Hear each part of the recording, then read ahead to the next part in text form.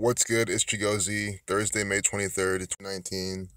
And real quick, just look at this riddle, this piece of propaganda from the federal government. Memorial Day is a federal government run holiday. And you see how they're recalling 62,000 pounds of raw meat. This is happening, it's coincidence programming. Oh, what a coincidence. This happens of all days just before Memorial Day. I mean, it's clearly some more, you know, marketing tactic from the Zionist Jews. Zionism 84, Masonry 84, Jesuit 84, 84 second video. The USDA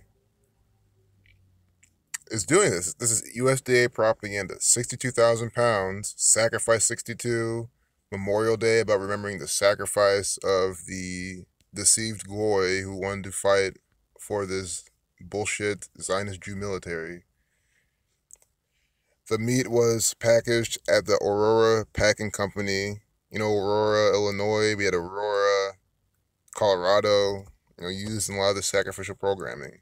On April 19th, 419. Ritual 81, 419 is the 81st prime. They're saying it's E. coli. But today's date with 67 numerology. Also 22. Food equals 22.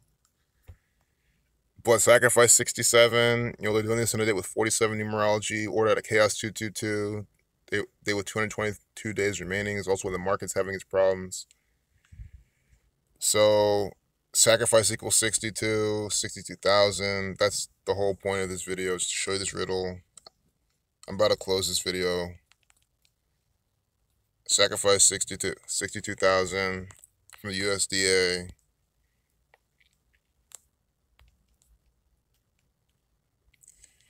You know, meat 39. So, of course, there's plenty more here. But, again, for time's sake, just about to close this. But you see the fake news. Aurora equals 74 like killing, 43 like killing, like Masonic. You know, Jewish has those numbers, 88, 74, 29, Masonic, 7429, rural Illinois, 58 like Freemasonry.